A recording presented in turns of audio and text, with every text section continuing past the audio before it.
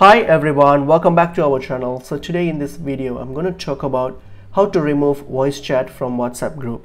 So if you're looking for a way to disable this voice chat feature on groups, so unfortunately there is no direct ways to remove this as it's automated by by WhatsApp.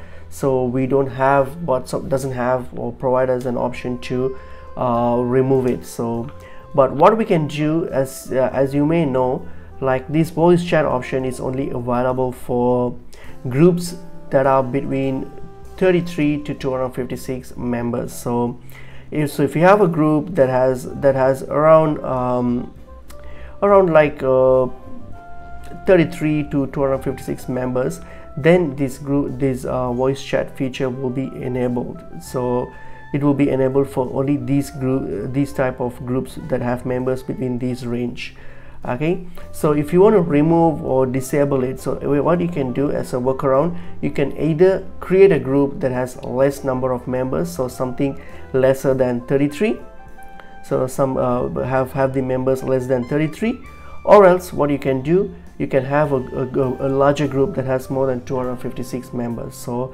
as long as you have something more than 256 or something less than 33 then this voice chat option will be disabled by default. So that's the only workaround we have if you want to remove this voice chat option? So other than that there's no direct ways to remove this and i hope this information is helpful. I'll see you in another video. Thank you